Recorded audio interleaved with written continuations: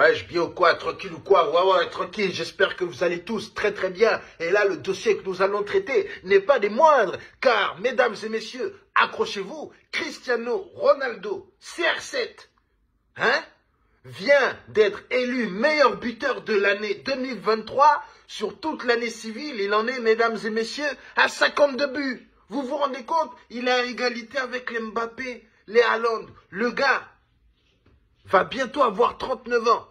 C'est-à-dire qu'il a la moitié de 80 ans. Bientôt, il aura 50 ans. Ce qui veut dire qu'il aura la moitié de 100 ans. Bientôt, il aura un siècle. Et le gars continue toujours d'être compétitif et d'être au top du top avec les petits jeunes qui ont la vingtaine. Vous vous rendez compte de la dinguerie Mesdames et messieurs, Erling Haaland et le Mbappé n'étaient même pas nés que Cristiano Ronaldo déjà faisait des, faisait des jongles. Hein? Et 20 ans plus tard, 25 ans plus tard, voilà qu'il est au coude à coude avec des joueurs qui sont censés être au top du top et qui lui est censé être sur la chaise tranquillement en train de se reposer. Mais non, le vieux a décidé de continuer de rester debout et de marquer des buts. Et il y arrive. Hein? Regardez l'année civile qu'il vient de faire. 52 buts. Il y en a qui vont me dire, ouais, mais il est en Saudi League, le niveau est quand même... Euh... Ah non, c'est terminé, ça on pouvait le dire la saison passée, mais là je suis désolé, cette saison a vu un grand vivier de grands joueurs arriver en Saoudi.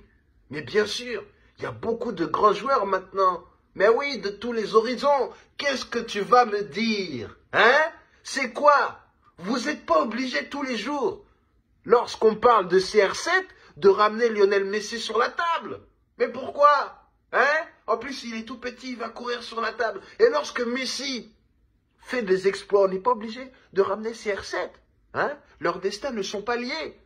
Sachez qu'il y en a un qui est né hein, en Argentine ou je ne sais où, et un autre qui est né au Portugal. Hein?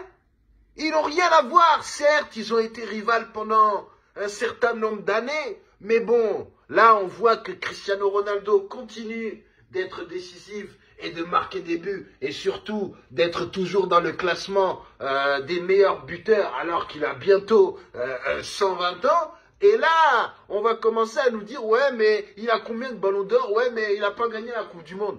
Hein, mais alors, concentrez-vous Hein Lorsque Messi fait des exploits, on n'est pas obligé de ramener tous les jours le robot sur la table. Hein?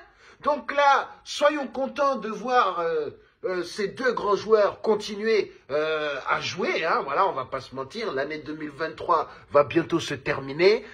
Pour CR7, ça a été une année assez riche en buts. On va pas se mentir. Voilà, donc en tout cas.